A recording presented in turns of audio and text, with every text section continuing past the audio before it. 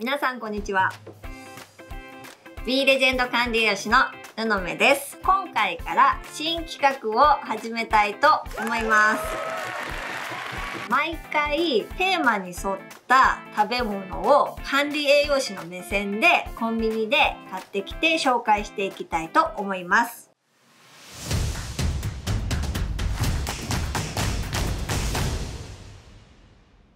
今回のテーマは何ですか？はい。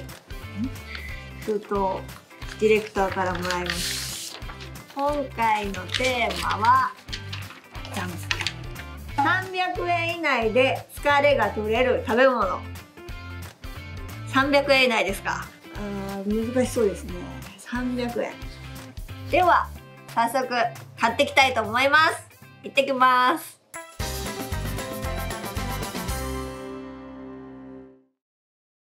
買い物行ってきました。では紹介していきたいと思います。1つ目あさりのお味噌汁になります。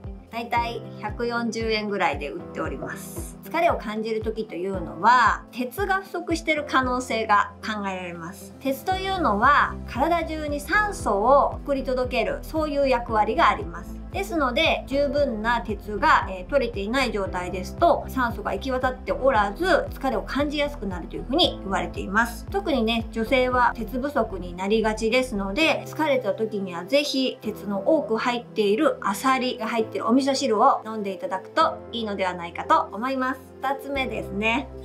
ベリーです。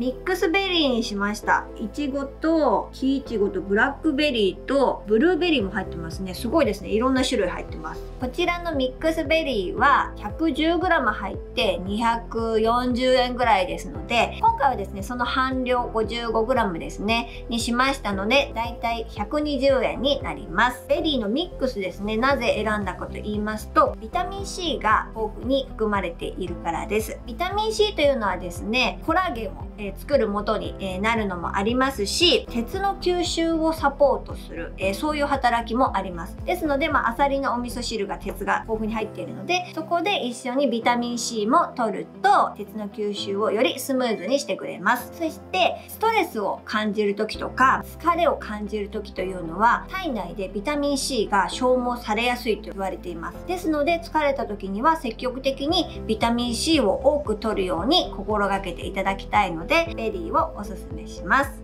それでは今回は300円以内で疲れが取れる食べ物を、えー、コンビニで探してきてご紹介しました。是非皆さんもお仕事の帰りなどにこのベリーとアサリのお味噌汁買ってみていただければと思います。またこのテーマに沿って買い物をしてきてほしいというものがありましたら是非コメント欄にご記入いただければと思います。私がコンビニで探してきます。それではまた次回の動画でお会いしましょう。さよなら。